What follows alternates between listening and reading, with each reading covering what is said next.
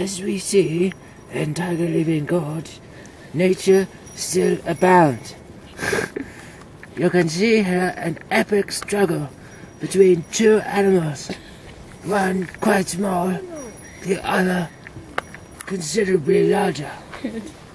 As you can see, the small animals work together to destroy and kill the larger animal.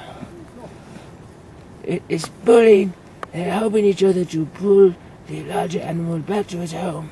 But first, because it is too large, they must chop this animal to pieces.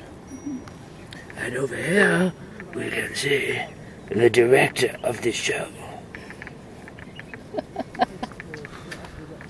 it is amazing in nature that we find such barbarity, such fruitless effort at trying just survive.